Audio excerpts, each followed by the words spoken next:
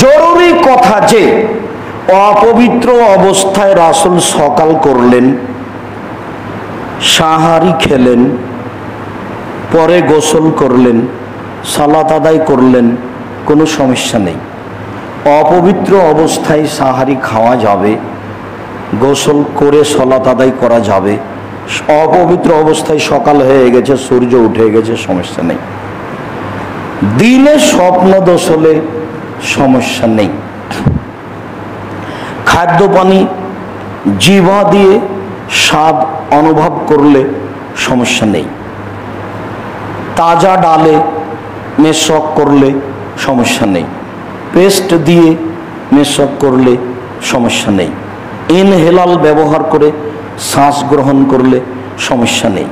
Vaccine আকিদা নষ্ট করে, তবে গ্রহণ করলে সিয়াম নষ্ট হবে না। যেসব জিনিস খাদ্যমূলক নয়, এমন ইঞ্জেকশনে সিয়াম নষ্ট হবে না। রক্ত দিলে শ্যাম নষ্ট হবে না। বমন হয়ে গেলে সিয়াম নষ্ট হবে না।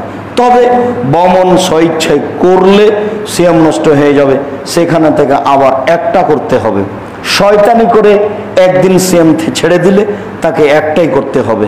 শয়তানি করে সিয়াম পালন করে না, একটার জায়গায় একটা করতে হবে। শুধুমাত্র স্বামী স্ত্রীর মিলন ঘটে গেলে শুধু স্বামীকে পরস্পর ষাটটা করতে হবে।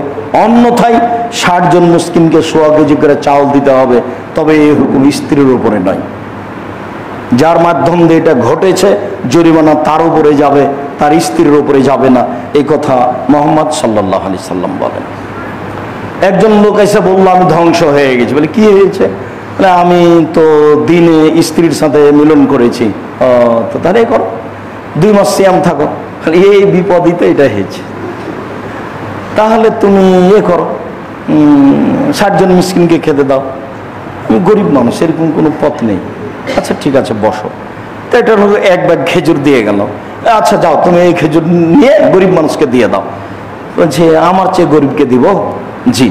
না, আমার চেয়ে গরিব তো এলাকাতে নেই। আল্লাহ রসুল হেসে উঠলেন, হেসে আচ্ছা ঠিক আছে, তুমি খাও। দেখেছেন বিধান, হাদিস বোখারি, মুসলিম।